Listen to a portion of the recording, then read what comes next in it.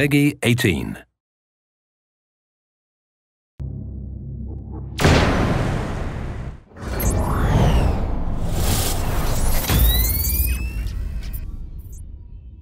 Hey, I'm Zack Cooper, your Splinter Cell community developer. We know you've been hungry for new Splinter Cell Blacklist gameplay footage, and we're going to be giving you plenty, specifically dedicated to you, the classic Splinter Cell fan. It's going to be dark, it's going to be quiet, and every week we're going to hit you with something new.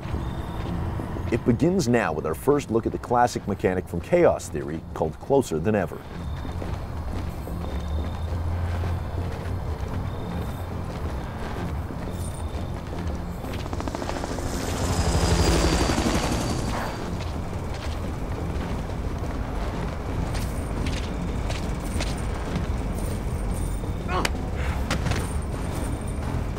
In the coming weeks, we'll explore more of the stealthiest elements in Splinter Cell Blacklist.